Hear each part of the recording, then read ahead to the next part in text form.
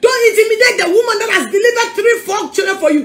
And now her tummy, everything has shamed. Her breasts are shamed. And because of that, you don't even feel anything for her. She's not attracting you again. You make her feel so bad because you met a Legon girl or some small girl or some young girl who is who has never given birth. And you compare her to your wife. When you met your wife, if she was not attractive, if she was not attractive enough, would you have married her?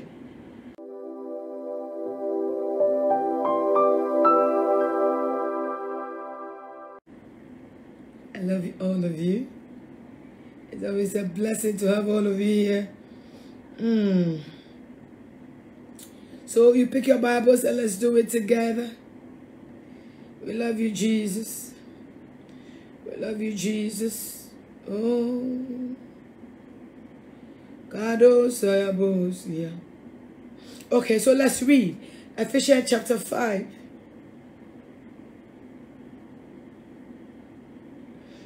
Read chapter 5. Let's let me read from the mm, the 32. The, the Ephesians chapter 5, 32. This mystery is profound. And I'm saying that it is refers to Christ and the church. However, let each one of you love his wife as himself. And let the wife see that she respects her husband.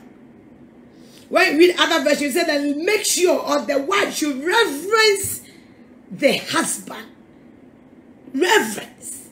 Today I'm talking about the reverence because the reverence is the whole topic of it itself. Okay? So we are talking about the Ephesians chapter 5 woman. It's a wife, the 22 wives, submit to your own husbands as the law. So why submit your own husbands as to the law? Hey, listen, listen. submit to your own husbands as to the Lord. It means that you need to submit to the man as you will submit to God. So you first need to submit to this man. Then it is easy for you to submit to God.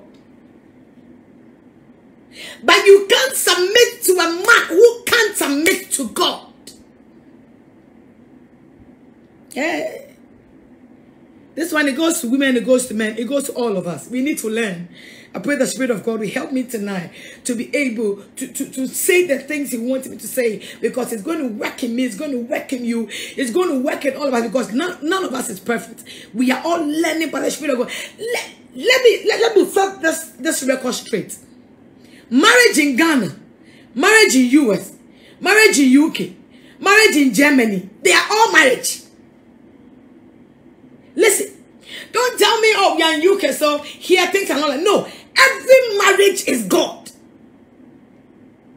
This one, whether you agree or you disagree, let me tell you this. Every marriage, because marriage itself is God. He instituted this organization. Mm. Hmm. Marriage. Help me, Lord, to understand this. Help me, Lord. So, so no matter the rules in UK, no matter the rules in US, no matter the rules in Ghana, you cannot allow the laws of wherever you are to interfere in your marriage. No. Because whether you are in US or wherever you are, whether you're in Ghana, wherever you are, it is God's institution. And the rules are one. Wives, submit to your husbands. Husbands, love your wives as you love yourself. So you can't tell me here in UK we don't do things like that. If I do this, you can do this. No, no, no, no, no, no, no, no, no, no, no. Marriage should be should be two people working it out together. It should be a, a, a place where spiritually we understand the purpose of it. It's a mystery of its own. Marriage cannot be ruled by your country's president. Because even your country president is having issues with his marriage. Marriage cannot be determined by your archbishop or your bishop. No, they are also having their own issue. This marriage, is the best person to go to for solution is Christ. It's Christ. He knew that when it comes to the point where a woman needs to submit, it's going to be a problem. He knew that when it comes to the point where a man needs to love the woman he claims he loves, there's going to be a problem.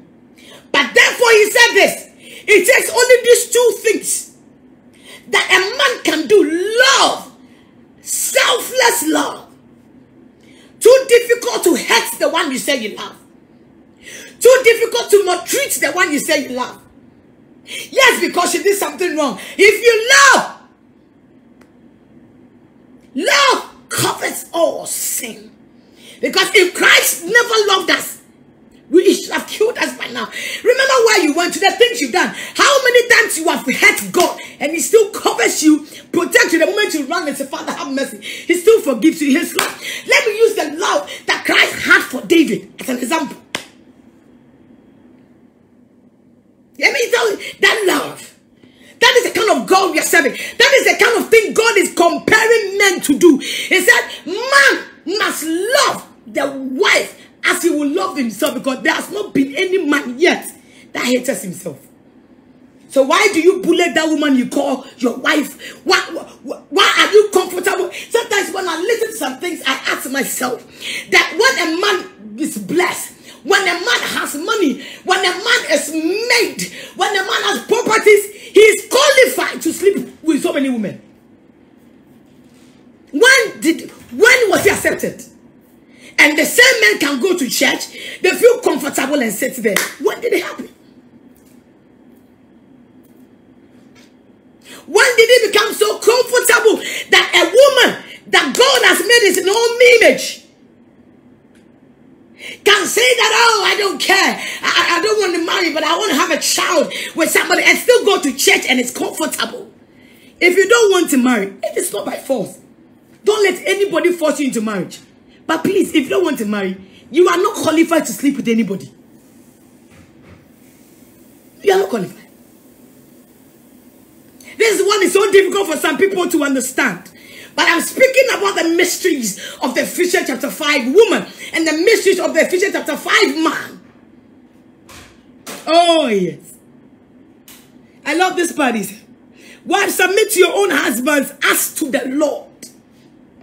So this one, the comparison is man and God. So he has made the man as your God. And this man we are talking about is not a bully. This man we're talking about is not a selfish person. No. This man we're talking about is somebody who can die for you because Christ gave himself for the church. Can a husband give himself for, for you? Ask that question. Can the man you call your husband or the man you want to marry, can he sacrifice everything in the name of I love you and to protect you? Can he defend you in every aspect of your life? That is the kind of woman God is talking about. As Ephesians is saying. I'm reading the Bible. Ephesians chapter 5, the verse 22. So we go to the verse 23. For the husband is the head of the wife, even as Christ is the head of the church. Hey, this is where the mystery comes in. And his body. And as himself its savior. Hmm. Now, as the church submits to Christ, so also wives submit, should submit in everything to their husbands. God help us. The 25 husbands, love your wives as Christ loved the church. Can, can, this is the point. It said the wife should submit to the man as, as the church will submit to Christ. This is the difficult thing. Can the wife submit totally as the church needs to submit to Christ? And can the man love the wife as Christ loved the church? Ask that question. The way Christ loves the church. The kind of thing the church does against Christ. Sometimes we speak the things we want to speak without even seeking the face of God. But he still loves us and covers us. The thing sometimes the church does, God grieves up there. But when we cry and we go to the mercy seat, mercy is, is being opened and given unto the church. Can a husband love the wife the way Christ will love the church? It takes few people to understand this mystery of marriage. It takes few people to be able to walk according to the precept of God. It takes only few people to come to themselves and understand that, wow, this thing I want to enter into it is not what I want, it's what Christ wants.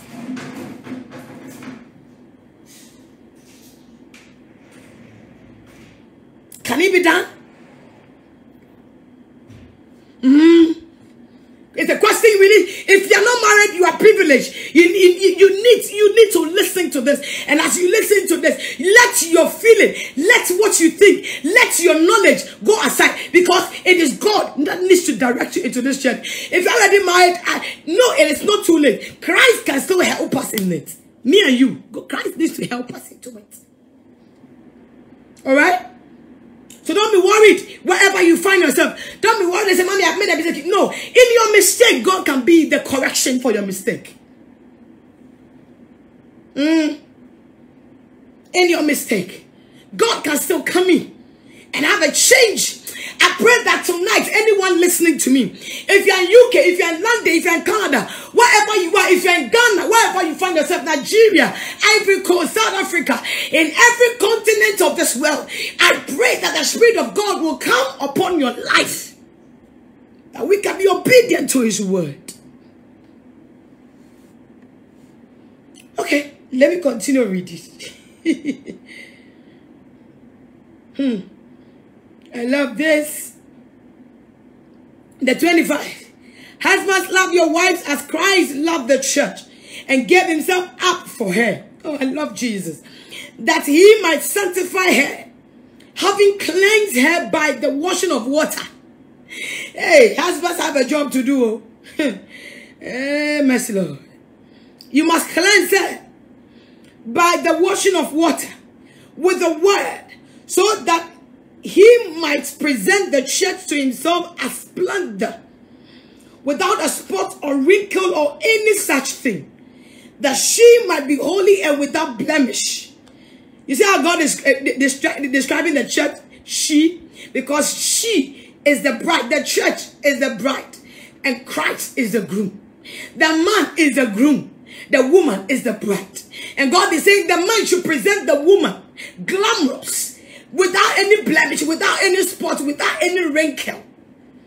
Okay, let me continue reading. That she might be holy and without blemish. In the same way, husbands should love their wives as their own bodies. He who loves his wife loves himself. For no one ever hated his own flesh, but nourishes and cherishes it as Christ, just as Christ does the church because we are members, okay, we are members of his body. Therefore, a man shall leave his father and mother and hold fast to his wife, and the two shall become one flesh. This mystery, this is my point. This mystery is profound. Profound, this mystery. And I'm saying it that it refers to Christ and the church. This mystery is profound. This mystery, it takes people who are deeper spiritually to understand and ask God. This battles in my marriage, this battle in my relationship, this thing that is going on. Father, help me. Help me, Lord. Help me. Come on, I want somebody to share. Share and bring somebody on board. And let's do it together. This mystery. This mystery. Is it eh, eh, if you want to walk with God, your will is being taken away from you. If you want to walk with God, the things you want to do is being taken away from you. Now his will is what works inside you. That is why when we surrender, we say, I give my all to you. I surrender. I mean that when I lift up my hands and I say, I surrender to you, it means I am giving you my interest. I am giving you what I like. I am giving you the things I wish I could do. Now, I take it all out. That's just creating me a clean heart and renew a right spirit within me. There is a spirit that brings anger. There is a spirit that wants always battle. There is a spirit that won't give me a chance because I am made. I have my money. I have my company. I build my house. I don't see the reason why I should submit to any man. I don't want anybody to control. So people say that I don't want to marry. Do you know why? I don't want anybody to control. People think marriage is a place where you are controlled. Marriage is a place where you stand together with your team. Your husband is your team. Your wife is your teammate. Marriage is when you you team up with your partner. Then you run the race that God has set ahead of us. It's marriage is a race. It's a journey where that is the last place God will come and meet, meet us, and then establish His will with us. I don't know whether. hey, help me, Lord. Ay, help, help me. Mm-hmm, help me, Lord. The Lord, I, I, I, I pray the Lord help me. He's, he's saying a lot of a lot of things. Help me. Let's do it together. Let's do it together. See, I, I, I'm connecting this to the ten virgins that went on this journey, prepared, but others were not prepared. There are other people who enter into marriage unprepared. Are other people who enter into marriage without knowing what it entails. Oh, Jesus, help me with this revelation. So it's a journey that anyone that comes to this earth, you go through that journey. We can all be the same. We can all be virgins. We can have all one motive. We are all Christians. We are walking towards one destination. But there are people that are coming with that unprepared. There are people who have no idea of where we are going to. There are people who don't value the meetings we are going to meet. They don't value what can happen. The journey to meet the groom is not a joke. The journey, anything can happen on the way. Anything that is a mystery. We are going on the journey. We don't know what will happen in the journey. But if we walk as a team, if we walk with one understanding, and we put our interests aside, you step on my ego, you said this to me, everything you are offended, and we can stand together, not focusing on what the devil wants to distract us, but focusing on where God is taking us. Ah, when the trouble comes, when the ego, when the pride, when, when, when that thing steps in, uh, because we are a team, we speak together with one voice, we orchestrate and we speak into the realms, and we put a stop to what the devil is doing. And I'm telling you, we walk through where God is taking us because we are prepared, we have extra oil, we have extra skills, things that will take us to the journey to meet Christ. Mm. So is your partner prepared? Are you a team together? If you're a team, then when one is falling, you will stand and lift the person up. If you're a team, you don't step or stop your husband at the back or stop your wife at the back. If you're a team, you don't see that young girl and have interest for that young girl, my dear. It is not all about what you see that attracts you. Ah, it is high time you see beyond what physical eyes can see. Because the journey we are embarking on, it's not a physical journey, but we are in the physical world. So we need to walk in the spiritual world. It says that we are serving the God. We serve him in spirit and in truth. If you cannot dive into the spiritual realm, it will be difficult to deal with marriage. You'll be offended with everything. You'll be offended with everything. The way he spoke, the way he behaved, there are things he said, you'll be offended. Physical things will, uh, will affect your life. The devil uses that to, to, to, to make us lose focus where God is taking us. The devil will do that to, to, to, to make you not look at where God is taking you. But listen, there were people that were ready, that were going on the journey, that understood what can happen on the journey, that prepared themselves together. Marriage is not a boss and a slave. Marriage is a great, strong team together. When one was a boss, that was Adam. And then Adam realized he can't do it again. I need my teammate to come and join me. I need that strong teammate that can stand with me. I need that teammate that understand where we are going to. If you marry somebody who all they think is me, I should be the one making it. I should be the, every praise goes to me. Oh, he should praise me. I pick it from the gutter. So you should praise me. Please. That one. It's not a teamwork. It's a bullet organization bully. Hey, I pray that you can understand where I'm coming from. I pray the Spirit of God will help us. The mystery is too much. If we can understand, we will work it. Call your husband, call your wife. Hey, whatever happened, tell your husband, your, your wife. We need to make it. We need to make it work. If we started with that preparation, we are going to start it well. We are, we are going to make it again. There's nothing wrong to start again. Start again. Call your husband, call your wife, and say, "Well, I've made mistakes." Yes, we are bound to make mistakes. We are about to sleep on the road. We are about to forget so many things. It is part of the journey. You don't need to criticize somebody. You don't need to criticize her. You judge her too too much. You say things to her. Somebody can look at the wife's face and insult her as if she's she's nothing. Why do you always want to make her feel nothing? Why do you always want her to, to, to, to feel as if as if she's not good enough for you? She's not beautiful. Look at your shape. You get back to you after giving birth. Look at the way your tummy is. Are you serious? She risks her life to have a baby for you, which you will name as your own. And you couldn't appreciate that woman risking her life for you. And you can look at her, her up and down. And, and, and, and, and insult her. And make her feel less of a woman. Then she cries within because you've met a young girl somewhere who is sexy. Who, who, who is sexy. Who looks good. Who wear the good clothes. Get good makeups good bath. Everything about her is good. Because you are paying. You, you don't care to give her, sign your checks to her. You don't care. Do the same for your wife. When you met her and she has not delivered, she was that sexy woman you picked and you loved her. That is why you went to marry her. So today things have changed. You also have to change and adjust to it. Adjust to it. On this journey, on this journey of marriage. Pride doesn't come in here. Pride is taken out. Humility is grown here. We get the grace to learn. The grace to, Father, help me because I don't know what I'm going to do. Father, the, the thing is, is too much on me. You see, if you are a team and you are going and one is losing focus, sorry, you don't also reject the person. You stand by the person.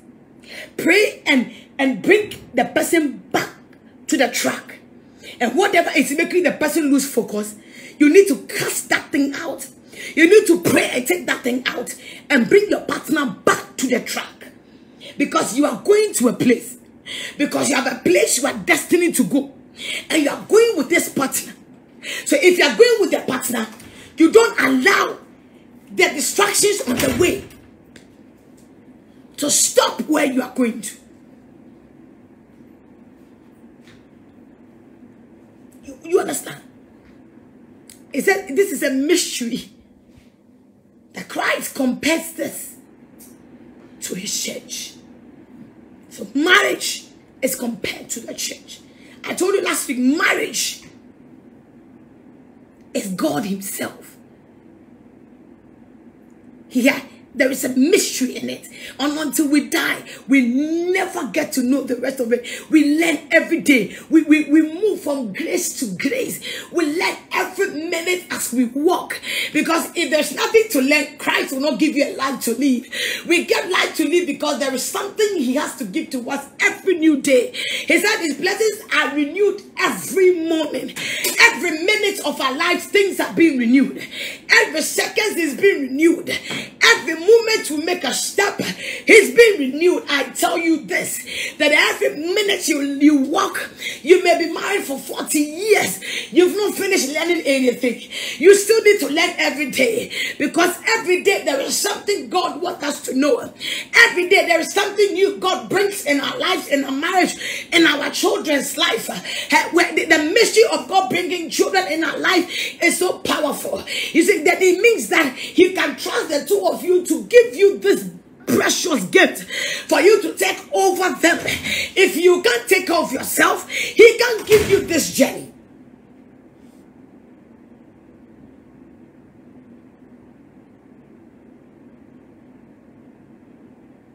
Mm. So if you know you're not married and you want to get married, please There are rules you must go through. There are things you must go through.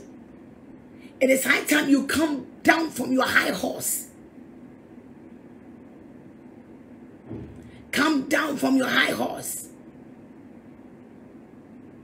Mm. It is high time you come down. It is high time you allow the will of God to rule in your life. It is high time you ask yourself, what is your purpose for me? Because on the journey, anything can happen on the journey. Anything we can sleep alongside the road. Battles will come alongside the road. Frustrations will come. Disappointments will come. So many things will happen alongside the road. But there's one thing that I am sure of. When frustrations are on the road, when, when, when, when, when things are going to stop you, barriers on the road, there's one thing I'm sure. If you have a right partner, if you have a, a right team partner who can understand the situation and time, you stand together and encourage each other. When one said, I can't do it, the other says that you can do it. And the other becomes a strength to the other. When one other feels, I want to give up. There's another one that has got extra oil that can push. That's why we need to be a team. Not a team to become this one is better than this. No. A team where everybody respects each other. A team where, where I love what you have, you love, we support, I push you, you push me, we do it together. Not a team one one feels superior and one wants to put somebody down. No, no, no, no. When it becomes like that, it becomes a thief. Okay, I am the boss. You need to respect me. Egoistic. Oh no, no, no, no, no. When there is understanding between the two of us, it is easy for this one to respect and submit. It is easy for this one to love you. There is nothing like less. Uh, uh, uh, power sharing. We respect each other's power. That's the point. The woman needs to respect the man. The man needs to love her. You don't judge. You stand by each other. That is how it's supposed to be. It is a teamwork. Because even Christ says that I have given before you what is good and what is bad. Make your choice. He doesn't impose it on you. He gives you a chance, a ground where you can communicate with me. He said, if ye are willing and obedient, let's sit down and talk. Christ wants to sit down with you and talk. But you don't want to sit down with your wife or sit down with your husband and talk. That's serious. Even Christ himself wants us to sit down and have a talk. And because the woman, she's too blessed, her pay is big. She's of a class. So she thinks when she meets a man who whose pay is not like the way she gets, she allow pay, she allow education to determine which man she should choose. Be careful. Be careful who you are judging. Be careful. Be careful how you treat the person. If you love yourself that much, that the things you expect your wife to do, if you are the one doing it, if you not be happy, don't bully her. And woman, learn how to shut up a little. You talk too much. You are too much. You talk too much. You know everything. You have every idea about everything. You don't know when to shut up and when to talk. You always step on his ego. Listen, it doesn't work like that. It's a teamwork. And every teamwork, everybody has got his weakness. Everybody has got his strength. But the best thing is that we will all use our strength to stand with each other. We stand with each other in our weakness and lift each other up. I don't judge your weakness. You don't judge my weakness. I respect your weakness. You respect my weakness. We stand together and pray and make it work. We are heading towards one place. Going to meet our maker. Going to meet the one that instituted this marriage. When we meet him, we need him to, to, to say that, oh, you've done a good job.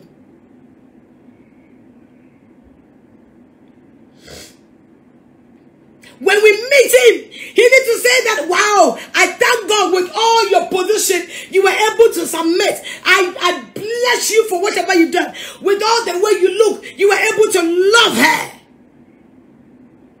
We know when you come to Africa, we have this tradition. Oh, I, I, I, I can't. The way this, is the way we treatment. If you go to Nigeria, this is the way we treatment. It is all good. But I'm asking you this: It is not Nigeria that instituted marriage. Neither is it Akan that instituted marriage. If you are part of the family of God, you need to go to the rules that God has made for marriage. And that is when a woman needs to submit to the husband as she would do to God. And the man needs to love the wife as Christ will love the church. If you get a man that doesn't know how to Christ love the church, he can't love you. He will love you. It is there are some examples. I there was a prophet in the Bible that God told him to go and marry a prostitute. Wow. That is why Christ is not choosing. If you're an arm and you run to him, he will save you and change you. If so, if somebody has got a past, if the person was a prostitute before you married the person, the little thing, oh, because you're a prostitute, you don't ever let this woman have, have, have peace in, in her life. Because in the past of the life she was living, but Christ has saved her. That is why you married her. Why do you bully her with the past? Why do you bully her? And you woman, because maybe in the past your husband didn't know God. And he cheated, he made a mistake, and you caught him. Now, thank God he has come to know Christ. You still want to use the past to bully him. You don't know how to forgive. If Christ has not forgiven the church, he should have killed all of us. Because there are so many things we have done against Christ. But because his mercies are always with us. Because he died on the cross to save us. So he's always with us. What I told you your husband do that you cannot come back to forgive, but you want to divorce. I want to divorce. I want to divorce. You've forgotten you you you brought this man and said this is the one you want to spend the rest of your life with. Why are you cutting in between? Are you like the other five virgins who were unprepared? Who didn't know that what they were going to? Who didn't add extra? If you don't have extra oil, you can't marry. I'm telling you the truth. If you don't have extra oil, because there are things in marriage it is better you, you say it's better you divorce because there is no joy. You are not happy. You, you are being maltreated. The things you love, you don't get them. Your dreams, how you want your marriage to be, it, everything has changed. There are things in marriage, if you get to a point waiting for the groom, you will delay. Financial problems in the marriage, struggles in the marriage. Your mother-in-law, your sisters-in-law, even your husband will rise up against you. Your wife will rise up against you. They are parts of the journey. It takes only extra oil to sustain us. Extra oil. Extra oil. It takes extra oil. I'm going to close up. Please share. Somebody needs to join this. Share for me. It takes extra. So if you're a young lady listening to me, you have no extra oil. Please, you will leave the you, you leave the race because you can't you can't continue. Because sometimes we get to a point we are tired. You want to rest. That is a mystery. You get to some point, if you don't you don't get extra, when you get up, your light will go. Your light will be off. Some of you, your light is gone. So you have no, there's no light in the marriage. There is no joy. Nothing is working. Someone, someone is saying, Mommy, I don't love him again. It's not that you don't love him. Your light is off. You should have you should have brought your extra oil. When the light goes off, you you you put more oil to bring the light back. Sometimes in marriage, the light goes off. Sometimes you feel ah Nothing is working. You need you, you wish you could experience another thing. You wish there could be other better things you are. The marriage is boring. Nothing is working. Everything is bizarre. Nothing, everything. You're a man of God, woman of God, things are not working. And you wish you, you didn't you didn't you shouldn't have married that person because you met somebody who's interesting. You met somebody who looks all good and all that. My dear, anything you are seeing around your marriage is a frustrating. That's something that is coming to frustrate you from where God is taking you. Listen, all you need is the extra oil. You need extra oil to put in the old lantern you are holding. The same man, the same woman. All you need is to get extra oil from God and and, and put it inside, and the light will shine again to continue the journey. You can't tell me eh, eh, because my, my, light is off. I, I, I, I've off it. I'm not going again. You you be like the five foolish virgins that didn't prepare. They thought a marriage is all about dressing up, having the best wedding, the best dress, uh, bridesmaids. Then we are dancing. Hey, the people are coming. Tw uh, Twelve uh, people have. Uh, 20 bridesmaids, 20 uh, best men, a after party, uh, uh, bride shower, whatever. They have names, so many names for it, so many names. There are people who start the journey and they look as if all is well. Oh, I married a big man's son. I married a big woman's son. Hey, the wedding was on top of that. And there, go and count 10 years back. People that married and they were on top, everybody knew. Go and check all that and find those who are still married. They've all divorced. One have left. This one doesn't want. They have excuses everywhere. Uh, she asked, she, this one, he cheated. They have excuses. Do you know why? Because they picked their lights. And it was, and everybody was happy about it. They were going. They didn't pick extra. Because they didn't know what was ahead of, of them. They were just, they were just going because they said there's a journey. They were just moving because people were married. Me too, I want to marry. Me too, I also marry. Hey, my wedding. After party. Come and see the price. Hey, people will talk about it. It's on now. It's everything is on Facebook. So every every young lady wants to have the the best of the weddings, my dear, my dear. Best of what, what weddings? The best is when you are able to stand as a team to the end to meet the groom. Not start well, and in the middle when you sleep and you get up. When something happens in a marriage, you end up the marriage. No. But the good ones are those that when they got to the middle and things were tough, they were able to put their extra oil inside and move ahead and went there and had the, the, the groom coming and they met the groom. The five other foolish virgins, they couldn't because someone say, hey, my friend, if you know you can't divorce, so don't sit there and die. Who said you should go and sit and die? Did you prepare before going? Or you just joined? Don't follow this world and their, their frustration uh, uh, uh, advice. Some people will come and speak to you. My dear, don't die. You. If you know divorce, leave or, and have your peace because I am making it. I also make it. Sister, please see the one that is talking. And look at the Bible. Compare the person with the Bible. Who, who will you listen to? Human or God? Because, mommy, I, I, my, my wife is not helping me in ministry. I think I made the wrong one. Which, which ministry? Is a ministry for you? It's God's ministry. He chooses the ones he wants to use. Stop talking. Uh, my, my, my wife is not a ministry material. Are you a ministry material? Are you a ministry material?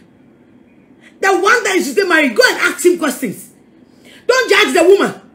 Don't frustrate her. Because you see other people and their wife, they are doing ministry the way the woman is preaching. My dear, nobody can be the same. We are all different in a different ways. Everybody has got something special in them. Stop comparing your wife with people. Stop comparing your husband with people. They can't be those people. They are who they are. Love them for who they are. Appreciate them for who they are. Who are you to be choosing wife uh, uh, uh, ministry material? It's a ministry for you. It's for God. And wherever you want to place that woman is not a mistake. If you made a mistake marrying her, when it comes to God, your mistake can be the correction God can make and become a better thing. It's because you have not directed the marriage to God.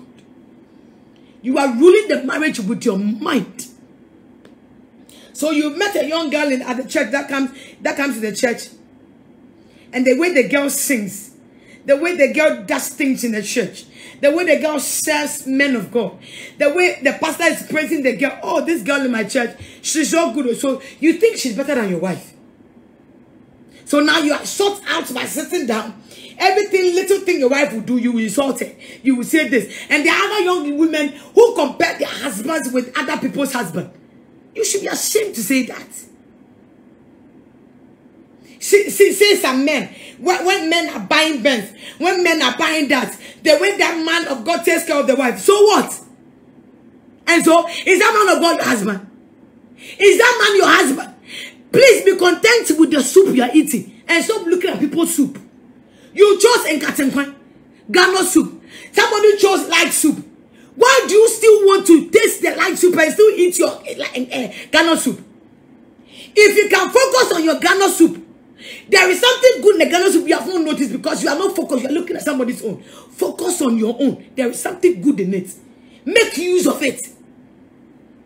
Make use of it and stop making your partners feel as if they are nothing. Make it work. Don't intimidate the woman that has delivered three, four children for you. And now her tummy, everything has changed. Her breasts are changed. And because of that, you don't even feel anything for her. She's not attracting you again. You make her feel so bad because you met a Legon girl or some small girl or some young girl who is who has never given birth. And you compare her to your wife. When you met your wife, if she was not attractive, if she was not attractive enough, would you have married her? Then some who say that eh, when I married I wasn't having money. So now when you when you have money, your eyes open. I, I wonder how money can change some men, how money can change some women, and they have no respect for their lives. The wife should accept because he want to cheat. He's a man. Someone will say, I'm a man. When it comes to men, you know, we, we can't eat one food. You can't eat one food. Because you have, you have different food to eat. Go buy them. The, the food, some of the food you eat, it will tend to poison and destroy you. My dear, rule your life as God has set for us. Don't rule your life according to how your friends are doing it. Because your friends have no idea. They have no mystery of marriage. It is so it's so strange that a man or a woman will live with them uh, uh, their, their partner for 50 years and they are still together. And sometimes when you go and ask them, mommy, how did you do it? They tell them it's not that I never had interest for any other person. It's not that I couldn't I couldn't get another woman. No, I had all that edge. I met women that came into my life. I met men that came into my life. But I have committed myself. I have made a vow to God that I will close my eyes to this world and look to God what he has for me and my teammates. Because my wife is my teammate. My husband is my teammate. It's not your bully partner. There are some men. They think when they are not dead, the woman is useless. They don't believe anything in you. They don't believe in the strength. They don't encourage their women. They don't push them. And there are some women too. They can never encourage their husband. You know why? Because they look at other people. They don't look at what is inside you. They, they have no respect for you. The way she... I pray that those who have ears will listen to the word of God. You see, the truth. If, it, if I was saying something that is different, look, you will see people that will come to the page. When you the truth is so difficult for people to accept. Nowadays, they no no no no. Nobody should speak the truth. When you speak the truth, there will be people that will criticize and judge you, my dear. Me, I am never a perfect wife. I, I, I will never be until Christ come. I'm still working towards perfection with Christ. I'm working towards it. I'm learning every day. Sometimes I get angry. Sometimes I disagree. Sometimes I misbehave. Let me tell you this. We all have our issues. Oh. Nobody has a perfect thing. We have our issues. But the reason why we are still walking and going is because anytime we our our lantern get dry, anytime our lights get dry, there is another oil that we pour inside, and it, it keeps us going because we are going somewhere to meet our master, and we will meet him as one body and as one people with one mind. I can never be a perfect woman, but I'm walking with the God that is perfect. So by his, by his spirit and his perfection, it impacts upon my life. So sometimes when the edge comes for me to make a mistake, by the grace, when I seek him and I said, I'm getting weak, please help me out. He finds a way to fuel me up because my car is almost stopping. And sometimes you get to a point where you want to stop the car because you are tired of driving. But the one that I sent you hasn't told you to stop the driving. So I tell him, you know what, there is no other fuel station around. Please fuel my car. And then he will have a way to fuel it and we'll continue the journey. It is not by anybody's strength, it's by the grace of God. So we don't sit here to talk to you because we know all. Never. We don't sit here to talk to you because we have learned already. Me, I don't read any book. The only book I read is the word of God. So any sometimes when I'm coming, I don't even know what I'm coming to say. But he will speak to me. He tells me, do this and do and I do that. I speak the mind of God and nothing else. And nobody can influence what I want to say because I am not sitting here on my own.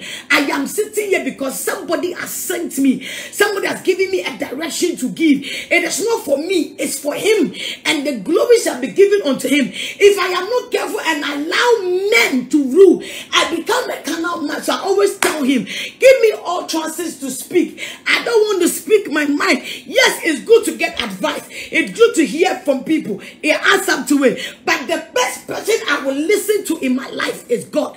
And when God adds up to the advice I get from people, it becomes on point. Yes, people can advise you. But the best person to speak to is God. And when God speaks and give you direction, the rest of the advice adds up to it.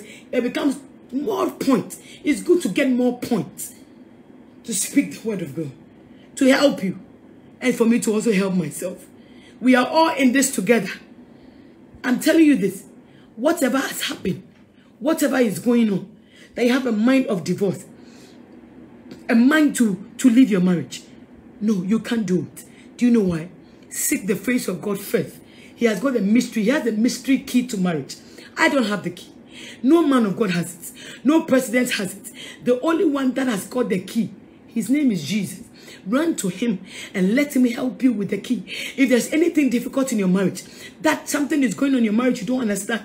If your husband is cheating, if your wife is cheating, if something is going back, it is bringing problems in your home. Please, the key the key owner, his name is Jesus. Run to Jesus first. When you go to Jesus, he has the best solution to the problem. Do you know why? Because he made that institution and every solution to any problem in that institution, he is the perfect person to give it to you.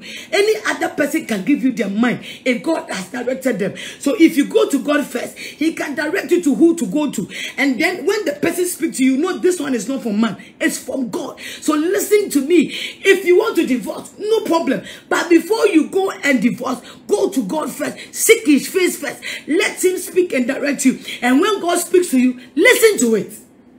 Because he's speaking for your good.